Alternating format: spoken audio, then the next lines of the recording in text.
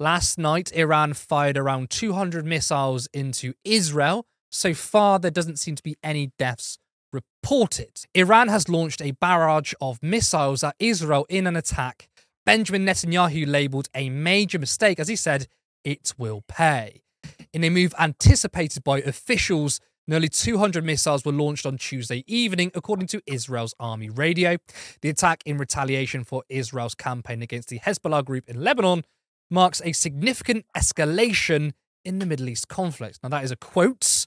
Obviously, I disagree with the way that quote is framed. Um, now, this has received widespread condemnation across the West. Prime Minister Keir Starmer gave his statement. Good evening. In the last few hours, the Iranian regime has launched over 200 ballistic missiles at civilian targets in Israel. It's too soon to assess the impact fully, but I utterly condemn this attempt by the Iranian regime to harm innocent Israelis, to escalate this incredibly dangerous situation and push the region ever closer to the brink. It cannot be tolerated. We stand with Israel and we recognise her right to self defence in the face of this aggression. Iran must stop these attacks, together with its proxies like Hezbollah. Iran has menaced the Middle East for far too long. Chaos and destruction brought not just to Israel, but to the people they live amongst in Lebanon and beyond. Now, I just want to quickly offer a correction. My producers just said that there was one death, um, a Palestinian in the West Bank. Uh, they were hit by a shrapnel. Um, but looking at that video there, I mean, Keir Starmer is blaming the escalation on Iran, saying he stands by Israel in the face of aggression. It is, as Kevin pointed out earlier, it's so strange that he keeps referring to Israel as her. I think it's pretty creepy, actually. Now, following the same rhetoric, Robert Jenrick tweeted, this. Tonight, we have seen a terrible and unprovoked attack against Israel by Iran, the world's chief sponsor of terrorism. There can be no more appeasement. We must stand shoulder to shoulder with Israel, our ally, just as we have with Ukraine. All the support necessary to win this war must be given to Israel so they can defeat the evil Iranian regime. That was Robert Jenrick saying the attack by Iran was unprovoked. I mean, that's quite astonishing. I mean, he and everyone else are ignoring the facts that Israel attacked Iran in April, in which no one in the West called out. Uh, Iran then responded because they have a right to defend themselves, in which it received wide condemnation. Along with that, you've got the occupation in Palestine. Israel's committed multiple terror attacks in Lebanon, plus a ground invasion. But Jenrick tweets out that Israel was the victim of an unprovoked attack. Now, Israel has vowed that they will retaliate big. Mr. Netanyahu said there is a deliberate and murderous hand behind this attack. It comes from Tehran, he continued. We will stand by the rule we established. Whoever attacks us, we will attack him. His comments came after IDF spokesman Daniel Hagari labeled the attack extensive and said there will be repercussions. We have plans. Iran has already said it will respond to any retaliation. If that isn't enough, Netanyahu has also barred the UN Secretary Antonio Guterres from the country. Israel's foreign minister says UN Secretary General Antonio Guterres is persona non grata in Israel and is barred from entering the country. Israel Katz says his decision is a response to Guterres' failure to unequivocally condemn Iran's missile attack on Israel on Tuesday.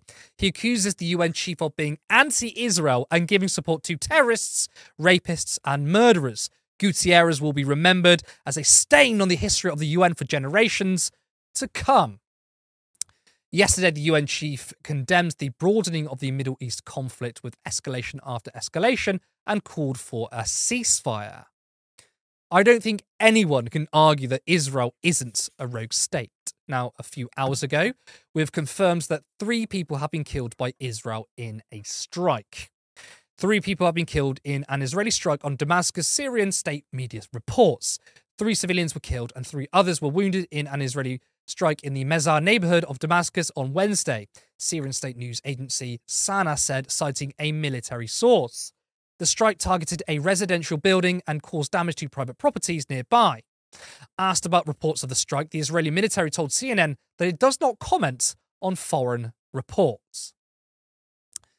Kevin, I mean, there are a lot of things to cover here. Um, I'll start by the claim from Jenrick and insinuated from Starmer that this was unprovoked.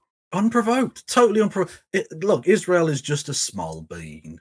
They could. They're so helpless. Uh, they're they're surrounded by people who don't like them. I wonder why that might be the case. Jesus Christ! Like they haven't been doing a genocide in the Gaza Strip for the last year. Well, in fact, actually, they've been doing it for 70 years, but you know, more intensely so in the last year, as if they haven't been uh, uh, destroying diplomatic immunity by killing um, uh, Iranian officials, by blowing up parts of, of their embassies, as if they haven't just launched a ground invasion against the foreign sovereign nation of Lebanon, as if they haven't been firing consistently on basically all of their neighbours. And by the way, with British uh, complicity as well, because there have been planes taking off from uh, RAF Akrotiri in, in uh, Cyprus uh, a British airbase. So we are literally not just passively selling weapons to the Israelis, we are actively engaged in the genocide they've been undertaking. Um, the idea that this is unprovoked is laughable to the point of, uh, I mean, just disbelief. I don't know what to say to that. I, he can't possibly believe it. He must be lying because he's not actually insane. He must just be lying. That's that's the only thing I can I can think of. And of course, flip the script, right? Imagine, uh, uh, I've always said it for the last year now. Compare and contrast the way in which Western media and Western politicians talk about the Russian uh, illegal uh, aggression against Ukraine and Israel's illegal aggression against Palestine and indeed others.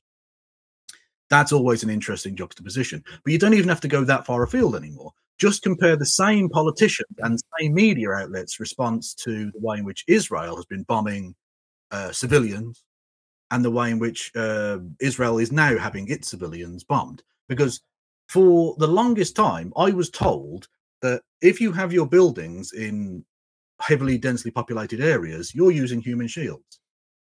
Hamas was using human shields. Hezbollah is using human shields because they've got their offices in like a tower block or something. Whereas apparently Mossad, having their headquarters in the middle of Tel Aviv in a high, you know, uh, uh, built up district. Apparently, that's not human shields. That's Iran wanting to kill mm. innocent uh, innocent Jewish people. And of course, the, that juxtaposition tells you everything you need to know about this. The incredible levels of, uh, I suppose, Western chauvinism on top of the fact that there's just an enormous amount of racism. They don't mind killing brown people. If brown people are being murdered, they're absolutely fine with that. Whereas the Israelis are seen as white enough, basically. Um, yeah, it's it's absolute madness. Um, and they've discovered now the israelis all of a sudden from out of nowhere have discovered that actually shelling uh, settlements is bad. Shelling the urban areas is a bad thing. That they've also been doing for the last 18 months and indeed decades before that. It's farcical. And i, I just i i feel like i'm losing my mind when i see the media just going along this line. They've all been constantly ignoring and using passive voice to describe how palestinians just kind of died. Whereas now it's Iran launches mega super holocaust on Israel. Everyone feels sorry for Israel. Mm. Ah, it's it's mm. honestly, genuinely, and, and that's the thing. I mean, obviously, I was corrected, but I said no one had died, and obviously there was a Palestinian that was killed by shrapnel, but no Israeli was killed from the strike, and they're acting that was the worst strike we've ever seen. But when hundreds of people are killed um, on two I call it terrorist attacks in Lebanon from Israel, or the up to hundreds of thousands of people, Palestinians have been killed. That's different. Yeah. It's it's very funny how they do that. You know, I find it incredibly ironic that Hagari is calling these strikes from Iran extensive. I mean, as I said, there's no reported deaths. Uh, hundreds of thousands of Palestinians, including children and babies, because Hamas killed around 700 in October. Now, there's a couple of figures there. People say it's 1,200. Uh, the latest figures I've looked into is around seven to eight hundred just innocent people, and the rest yeah. of them are the IDF. He asked me, I don't give a rat's ass about the IDF. They're an occupying force. So whenever I look at the number, I say about 700.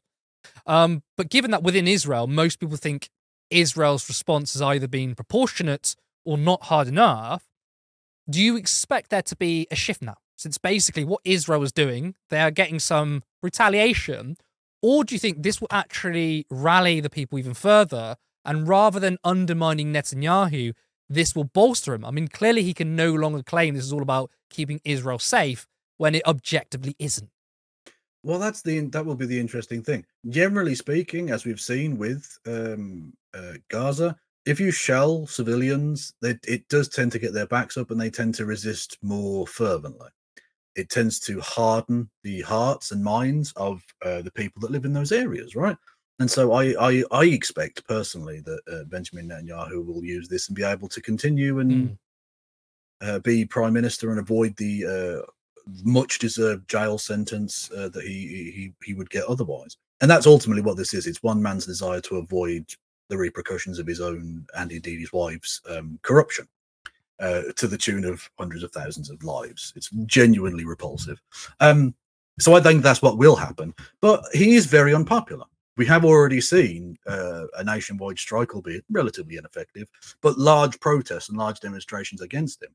And this might spur those on again, especially if you get repeated rounds of this, because the Iron Dome was very ineffective. As much as not many people were killed or injured, mm. when people see the illusion of protection that the Iron Dome was supposed to give them shattered, stripped away from them when you know nine in ten of these rockets were getting through. It was genuinely mad to think they've spent all this money, all the US taxpayers' money, on this Iron Dome system that clearly just doesn't work with modern rocketry.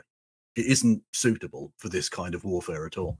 Um, they may well turn on him. They may well ask that this, you know, that this stops now because they're the ones facing repercussions. And when it's then it's it's it's always easy to be pro-war when you're not the one facing the consequences. All of a sudden, you get a little taste of those consequences, and a lot of pacifists emerge. You know, so we'll wait and see, I suppose. But I, I hope it has the the the latter of those effects. I mean, what I find quite interesting is um, I was referring to a poll, multiple polls within Israeli society, that most of them support uh, the the uh, scale of the attack on Palestine. Yeah. Like I said, the, the two most favorable opinions are it's about right or not hard enough. But then you couple that with the fact that Netanyahu is very, very unpopular. So I want to kind of decipher what that unpopular unpopularity actually is. It can't be because they disagree with him on policy, because seemingly mm. they don't.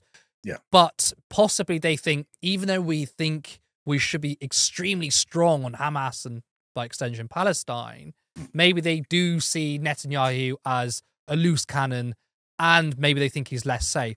I wonder what you can probably decipher from this sort of gap between the, yeah. the, the popularity for the policy yeah. and not the popularity for the man. Well, yeah, exactly. Yeah, there are the vast majority of people who oppose him are themselves Zionists because obviously the vast yeah. majority of Israeli citizens, or let's say of Jewish Israeli citizens, are Zionists. Um, and so, yeah, the, the, vast majority of these people are hardline Zionists themselves who think that actually he's hurting Zionism ultimately uh, by uh, being ineffective or going too far too soon type type uh, thing. And of course, his absolute lack of giving a shit about the actual hostages. Because whilst a lot of them use the bring home the hostages or indeed sausages, as uh, one prime minister referred to them delightfully. Um, uh, the, mm. they they use the phrase "release the hostages" or "bring home the hostages" um, as a kind of uh, propaganda tool. A lot of people actually do genuinely want that. A lot of people think that that should be the war goal that they want those people back, and he has shown absolutely that he doesn't give a fuck about them. He has killed many of them, of course. The Israeli government have literally murdered their own people, um, and have not really tried. They could have had all of these people back if they'd agreed to any number of the deals along the route that uh, Hamas mm. and various other people have negotiated. He's not interested in any of that. And I think a lot of people see through him now. I think a lot of people realize that this is what he is. He's just a bloodthirsty, warmongering piece of shit who's doing it to cover his own ass. And they've had enough. So it's not that this is some sort of anti Zionist uprising. This is um, a fracturing within Zionism based upon the personality of one genuinely mm. evil motherfucker. Yeah. Support independent media, support social justice that's there on social media. Thank you. Turn left.